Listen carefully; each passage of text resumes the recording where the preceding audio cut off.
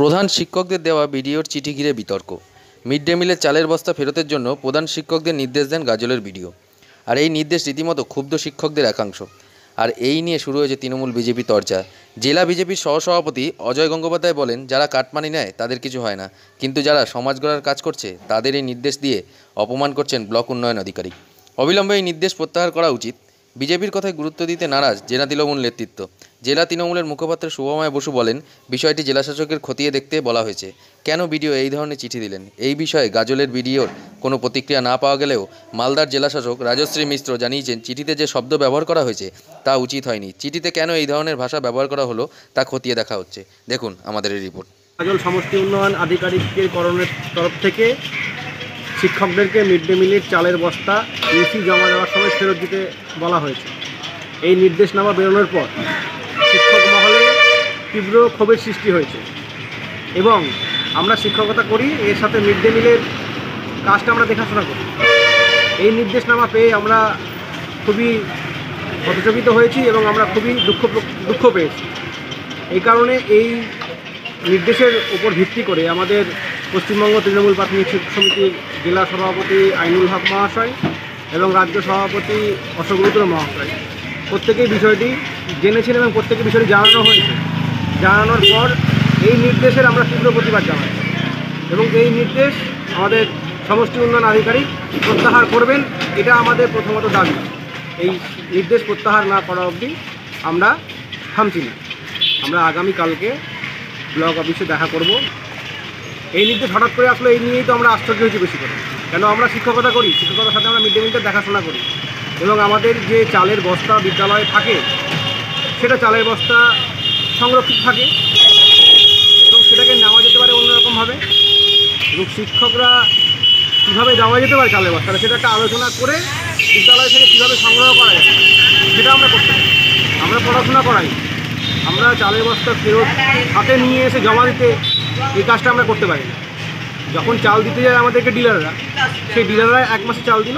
শিক্ষকদের সাথে বসে সুষ্ঠুভাবে আলোচনার মাধ্যমে কীভাবে চালের বস্তাটাকে স্কুল থেকে নেওয়া যায়, সেটা ব্যবস্থা করলে আমরা সম্পূর্ণরূপে সহযোগিতা করি। এটা এটা কোনো মতেই সম্ভব না এবং এটা আমরা কোনো মতেই করতে পারি না এবং এটা আমরা কোনো মতে করব না। যেহেতু সরকারি নির্দেশনামা জারি হয়েছে সেহেতু নির্দেশনামাটাকে প্রত্যাহার করার কথা বলছি।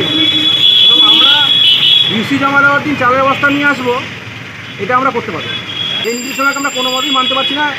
সমস্ত শিক্ষক মহল থেকে শুরু করে সবাই আমরা এর প্রতিবাদ জানাচ্ছি এবং ক্ষোভ প্রকাশ করছি।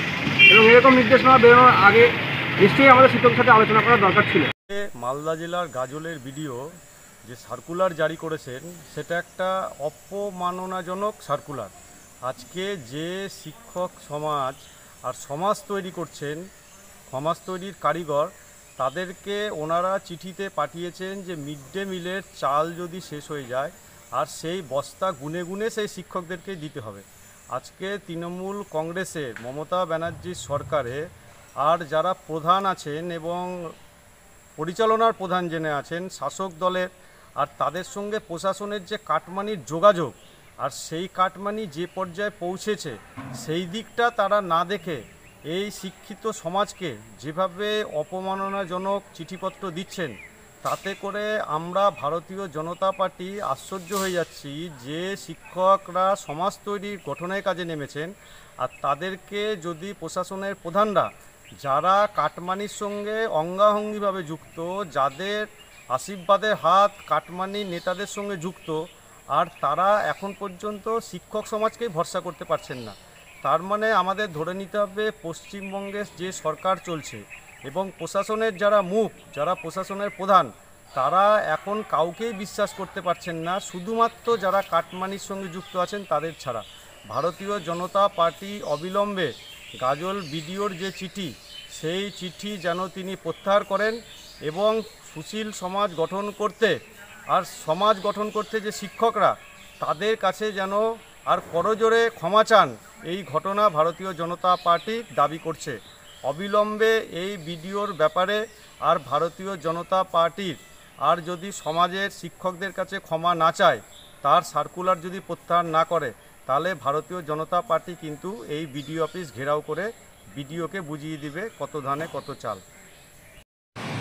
গাজল ভিডিও একটা মিড ডে মিলের জন্য যে অর্ডারটা করেছে, বস্তা ফেরত দিতে হবে, এটা একটা অপমানকর অর্ডার এই ব্যাপারে ইতিমধ্যে পশ্চিমবঙ্গ তৃণমূল প্রাথমিক শিক্ষা সেল মালদা জেলা শাখা প্রতিবাদ জানিয়েছে। আমরা জেলা শাসককে বলেছি ব্যাপারটা খাতিয়ে দেখতে বিডিও সাহেব কেন এরকম অর্ডার করল। আর বিজেপি কি বলছে, এই এটার কোনো ভিত্তি নেই, কারণ বিজেপির কথা মানুষ কেউ শোনেও না, বোঝেও না।